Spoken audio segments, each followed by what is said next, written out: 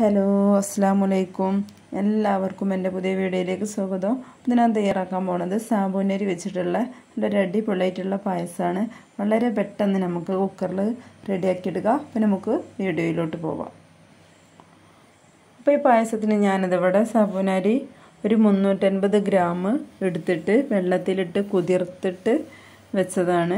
രണ്ട് മണിക്കൂർ നേരം വെള്ളത്തിലിട്ട് വെച്ചിരുന്നു. നല്ല കഴുകിയതിന് ശേഷം ഇവിടെ വെള്ളമൊക്കെ ഒന്ന് ഊറ്റി കളഞ്ഞിട്ട് കുക്കറിലിട്ടിട്ട് ഇതിന് ആവശ്യത്തിനുള്ള നമുക്ക് അതിന്റെ മുകളിലായിട്ട് കുറച്ച് വെള്ളം നിൽക്കുന്ന രൂപത്തിൽ ഞാൻ കുക്കറിലൊന്ന് വെച്ചിട്ട് ഒരു രണ്ട് ഒരു വിസൽ അടിക്കണ നേരം വരെ വെച്ചിട്ടുണ്ട്. പിന്നെ ഇതിലേക്ക് ഒരു ലിറ്റർ പാലും എടുത്ത് വെച്ചിട്ടുണ്ട്.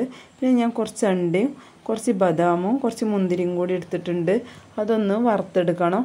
പിന്നെ നമുക്ക് ഒരൊറ്റ വിസൽ മാത്രം അടിച്ചാൽ മതി. രണ്ട് മണിക്കൂർ നേരം ഈ സബനാരി കുതിർത്തതായ കാരണം. അപ്പോൾ ഇനി നമുക്കിതൊന്ന് നെയ്യിലൊന്ന് വറുത്ത് കോരി വെക്കാം.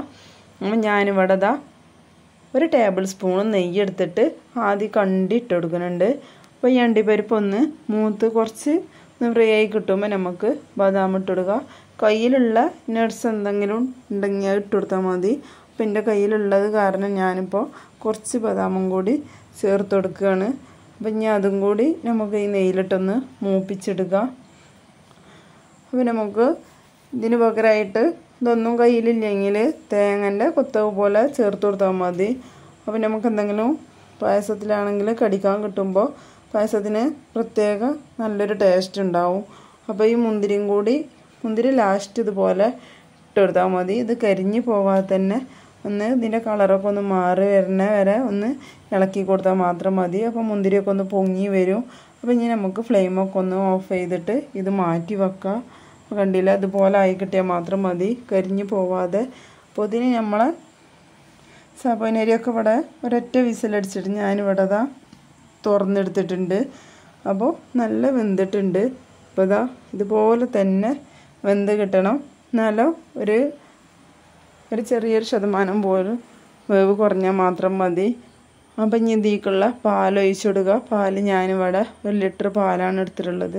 മിൽമന്റെ പാക്കറ്റ് പാലാണ്. അപ്പോൾ ഏത് പാൽ വേണമെന്നുണ്ടെങ്കിലും എടുക്കുക അപ്പോൾ ഈ സാബുനരിക്ക് നമുക്ക് മിൽമ പാലാണ് നല്ലത്. അത് പാലൊഴിച്ച് കൊടുത്തതിന് ശേഷം നന്നായി ഇളക്കി കൊടുക്കുക ഇളക്കി കൊടുത്തിട്ട് കുറച്ച് നേരം ഒന്ന് തിളപ്പിച്ചെടുക്കണം. പിന്നെ നമുക്ക് ഈ സാബുനരിയും പാലും കൂടി നന്നായി മിക്സ് ആയിട്ടൊന്ന് കുറുകി കിട്ടുള്ളൂ. അപ്പോൾ ഇതിലേക്ക് ഞാനിവിടെ ഒരു ഫ്ലേവറിന് വേണ്ടിയിട്ട് രണ്ട് മൂന്ന് ഏലക്ക എടുത്ത് വെച്ചിട്ടുണ്ട്. ഒന്ന് പൊടിച്ചത് ഉണ്ടെന്നുണ്ടെങ്കിൽ ഇട്ട് മതി. ഞാൻ പൊടിച്ചത് എന്റെ കയ്യിലില്ലാത്ത കാരണം ഞാനൊന്ന് കുത്തിയെടുത്തിട്ട് അതിന്റെ കുരു ഒന്ന് ചേർത്ത് കൊടുത്തിട്ടുണ്ട്. പിന്നെ ഇനി നമുക്ക് ഒരു രണ്ട് നുള്ളു ഉപ്പും കൂടി ചേർത്ത് കൊടുക്കുക മധുരമുള്ളതേക്ക് നമുക്ക് ഉപ്പും കൂടി ചേർക്കുമ്പോഴാണ് നമ്മൾ ആ മധുരമൊക്കെ ഒന്ന് ബാലൻസ് ചെയ്ത് കിട്ടുക. അപ്പോൾ ഉപ്പ് കൂടുതലാവാതെ തന്നെ എത്രയാണോ സാധനം ഉള്ളത് അതിനനുസരിച്ചിട്ട് ഒരു രണ്ട് നുള്ളോളം ഉപ്പ് മാത്രം ചേർത്ത് കൊടുത്താൽ മതി. ഞാൻ പിന്നെ ഇതിലേക്ക് ഒരു പത്ത് ടേബിൾ സ്പൂണോളം പഞ്ചസാരയാണ് ചേർത്ത് കൊടുക്കുന്നത് അര കപ്പ് അപ്പോൾ എത്രയാണോ വേണ്ടത് അതിനനുസരിച്ച് ചേർക്കുക. ചിലർക്ക് കൂടുതൽ മധുരം ഇഷ്ടമുള്ളവരാവും. ചിലർക്ക് കൂടുതൽ മധുരം ഇഷ്ടമില്ലാത്തവരും അപ്പോൾ അതിനനുസരിച്ചിട്ടൊക്കെ ചേർത്ത് കൊടുക്കുക.